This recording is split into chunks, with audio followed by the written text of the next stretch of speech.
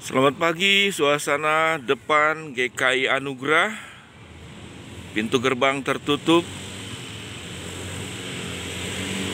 Satu hari kelak nanti kita akan kembali beribadah dan pintu gerbang ini kembali akan terbuka seperti semula.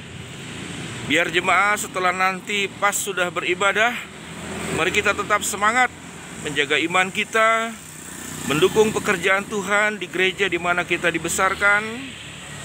Di sini adalah kalau hari Minggu parkir padat. Sudirman, saudara, kemudian sampai ke arah Sudirman ke sebelah sana, sampai ke Gang Isat Cibadak penuh.